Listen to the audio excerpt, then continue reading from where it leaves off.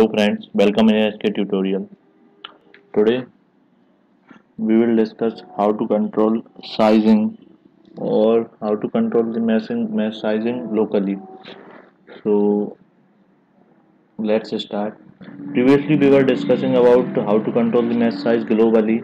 So before starting this video, better you can take a look on that video and then you can start this. So just click on the mesh and drag it in the project schematic. And uh, for the geometry I had already created my own geometry. Just just right, right click and on input geometry centrifugal pump I have to make some correction on this. So just double click on the geometry and uh, the design modeler will start so just generate this and we will select this for having this body to be sweepable. Also but we will not sweep this. Uh, we will see the reason why we are not sweeping. Just click on the new plane and uh, select type from center and select this edge. Mm, this edge and apply and now we can generate. And now we will slice our body by that plane just generate. These are these methods are previously discussed so i'm doing it fast and just close this. And now click double click on the mesh to start. Okay now this is our pump. So we will right click on the mesh and then insert and first we will generate the mesh for the bodies. So geometry selection here apply and here this is simple body. So we can select the multi-zone and for the this complicated body we will select tetrahedron patch conforming method. Okay. Now we will just and for this physics preference we will select the CFD because in the centrifugal pump we mainly deal with the fluid therefore our physics preference is CFD now we will generate this simple mesh this is our mesh with initial basic uh, controls. Now we will apply the sizing. Okay. Now in the sizing there are many options available. Now so we will start from the edge sizing. Okay. Here we can select the two edges and just click apply. Now for the sizing type is element size. There are three types element size number of division and display of influence in the element size we'll just write the size of the element. Let it be 2 mm and uh, refresh or update it. This is our sizing. We can see it. The size of the element at the edge is refined.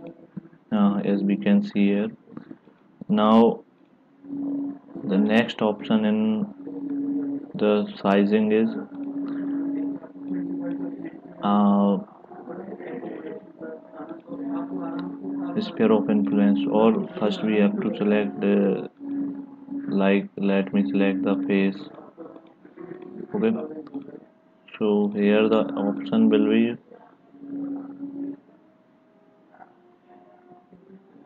first element size.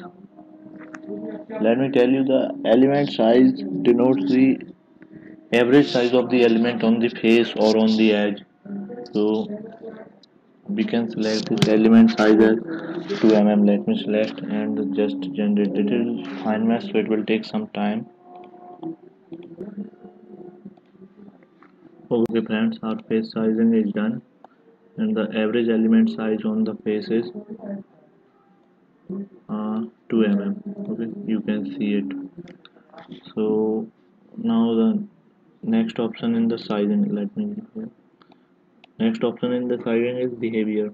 Behavior is of two types soft and hard. Uh, soft behavior means uh, the global mesh control will have influence in these settings. But if you put it as hard then global mesh control will not have any influence over these. Okay growth rate and curvature normal angle these are discussed in the previous lectures now we come to the next size. Next method of sizing in which we will discuss about uh, sphere of influence. So we will apply here. Here the options are available. Body of influence and sphere of influence. You know both have the same functionality. The sphere of influence will control the sizing in a sphere but body of influence means the sizing mesh sizing will be controlled in whole the body. So we will discuss here sphere, sphere of influence. And for the center of sphere we will select the global coordinate system origin which is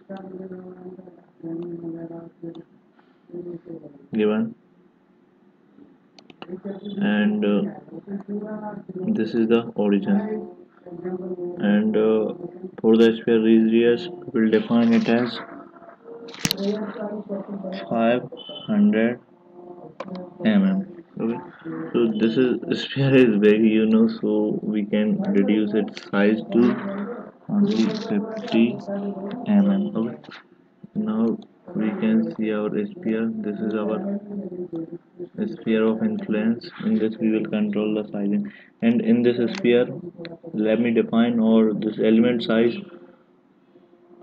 Tells the average element size. So put it as 5 okay? And let me delete this sizing because it is it consumes lots of memory or it reduces the time of it increases the time so that's why I deleted that. Then just generate mesh. Okay now it is done. So this is our sphere of influence from here. We will we are not able to see our control so we will create the uh, plane. Okay just for the section plane you can click here section plane new section plane if you did not have this option then you can click just here new section plane and just drag one line from here to here in order to see the sizing and uh, if we zoom then our sizing will be seen here. This is the sphere of influence in which our element size is 2 mm which we already discussed. But now we can increase the size so to see the size of the elements in our centrifugal pump. Okay friends hope you find this as an informative tutorial. We will meet in the next tutorial in which we will cover about inflation which is very important for CFD related tutorials okay? And in order to exit the section plane you just